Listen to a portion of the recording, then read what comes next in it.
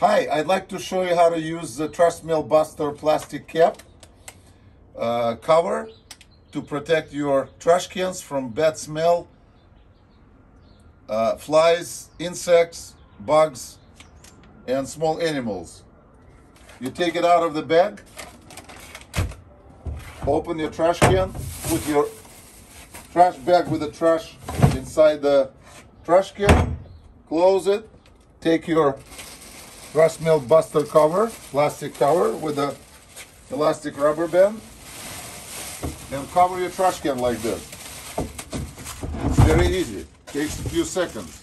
Make sure it clears the ridges here if there are any in your trash can.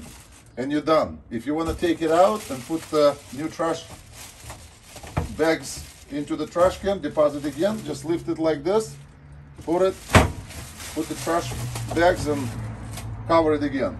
You can take it once a week for trash pickup and store it somewhere close by, just hanging on a hook. I use this doorknob and it's done. We have three sizes, 64 gallon, 32 gallon, and 95, 96 gallon.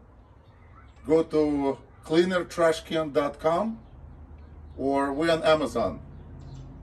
Thank you.